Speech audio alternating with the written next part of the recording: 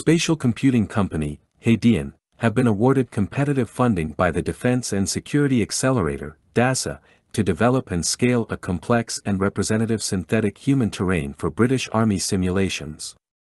This will take the form of a contract with the Defence Science and Technology Laboratory, DSTL. The project aims to enhance military training in land environments by populating scenarios with meaningful, pattern-of-life, behaviors and services, such as local leaders, military, government agencies, NGOs, media and industry.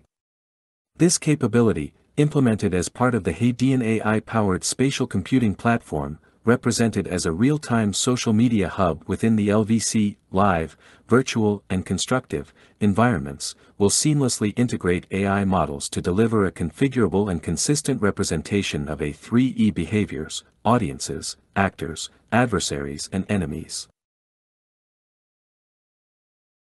Supported by a large language model, LLM, at its core, it will use AI to understand the evolving context during an LVC training exercise, causing the simulated A3ES to respond dynamically to the details of the actions of the trainees. These in turn will cause reactions and prompt training personnel to adjust their approach and tactics, effectively bridging the physical and virtual worlds through real-time interactions. Hadean CEO, Craig Beddis, said, exploiting novel technologies, like generative AI, at the speed of relevance and transforming them into new capabilities for the end user is at the center of what agile SMEs have to deliver. This is a great milestone for Hadean as we continue to innovate at the disruptive edge of defense technology, forging our spatial compute technology into a decision support tool that offers credible and quality advice and helps generate decision advantage for the military and government leaders.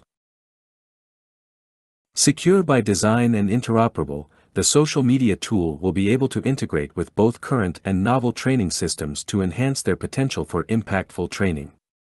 In combination with AI-powered data exploitation capabilities, it will also generate an after-action review dashboard to help commanders identify weak points and improve their future performance.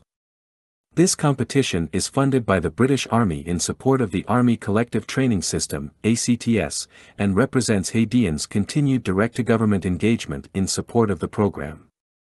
It builds on the recent delivery of a Pathfinder contract which helped validate a spatial compute platform approach for the Army by developing a cloud-native simulation and deploying it in an austere environment in Kenya to support LVC training operations and after-action reviews. Development is set to begin this winter and is scheduled to be completed in 2024.